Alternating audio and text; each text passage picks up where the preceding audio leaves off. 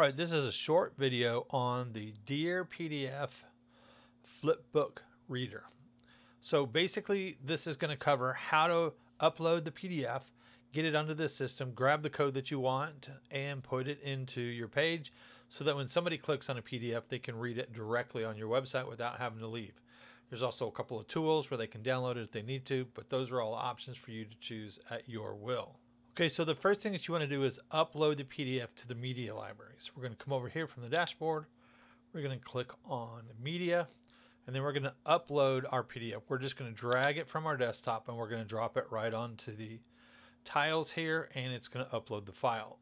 So now we're going to come back over here to DearPDF, and we're going to take a look at what's going on here. So there's no PDFs in the system yet. First thing we want to do is click on Add Post. So we'll click here. Next thing we want to do is give this a title. And then we want to select the PDF that we want to use by clicking on Select PDF. We're going to go ahead and click on the one that we want. We're going to hit Send it to DearPDF. Now at this particular point, it's going to create a thumbnail that's going to be auto-generated from the PDF. If you want to upload your own specific thumbnail, you can do so right here. Now, everything else has pretty much been set up for you. There are some other tabs in here. We're not going to go through these at this time, but if you want to change some of these settings, you can. But we do have global settings set so that everything kind of stays consistent. So I really wouldn't worry too much about what's going on here. Now, the next thing that we want to do is we want to go ahead and publish it. Now, once the PDF is published, the short code box here up at the top is going to be filled out. Now, this is just going to create a generic link, but what we want is we want the ability to display the PDF in a thumbnail format like this that somebody can click on and read it from the screen. So we're going to click over to the Lightbox options and we're going to select the short code for thumbnail. So we'll grab that, then we'll head over to our pages. We're going to click on PDF test.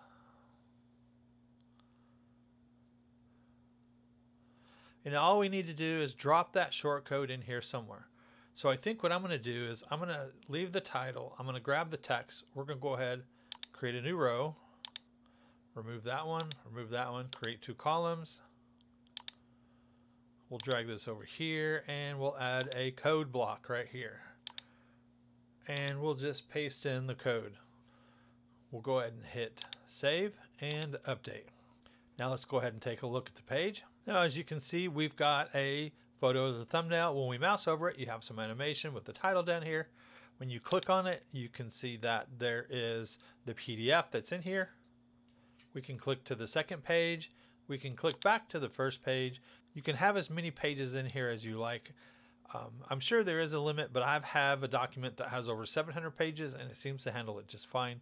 It does take a little bit of time for something that big to load initially, so you kind of want to be aware of that. It's good to, to compress your PDFs but it, it will handle quite a few pages. Now, if you look down here, you've got some tools. They can go ahead and click on the zoom key and zoom in, zoom back out. They can fill the whole monitor. They can click on the three dots. They can download it, and you can set whether or not that they're able to do that. Go to first page, turn off sounds and stuff like that. So that's pretty much all there is to the actual thumbnail version of PDF Reader we're now going to go back and show you how to add a button. So down here, maybe you want just a little button. So we'll add a button down there. First thing you want to do is go back to your PDF reader settings. So we'll come over back to the list and we're going to click on train tours. And then we're going to go back to the Lightbox tab of the shortcode and we are going to select button shortcode instead of the thumbnail. So we'll come back over to our page. We'll come over here. We'll create another code block. For this example, we'll drop it in. There's our code. This is the button type right here.